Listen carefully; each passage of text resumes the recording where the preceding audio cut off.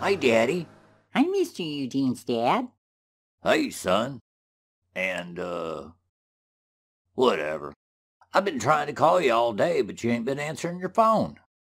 Yeah, I need a new one. I was making a TikTok video at work and I dropped it in the deep fryer. We changed the grease on Monday, so I have to wait until then to get it back. Uh-huh. Anyway, it's Labor Day weekend, and I thought maybe we could go camping. Can Melvin come too? You really think I'm going to sleep in the same tent with that?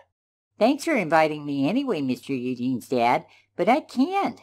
My mother wants me to stay home and paint her toes this weekend. Uh-huh. Anyways, I thought I could teach you some manly stuff this weekend.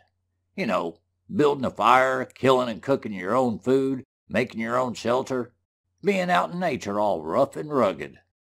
Sounds like toxic masculinity to me. Yep, that's the best kind. So how about it, son? Can't we just buy some food and cook it in your oven? You're missing the point, son. Roughing it builds character. Having limited resources and adapting brings out creativity. Well, that just sounds like work to me. Yeah, me too.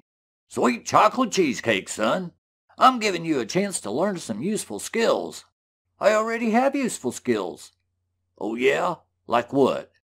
Well, I know how to make TikTok videos. That reminds me, can I have some money for a new phone? Ugh.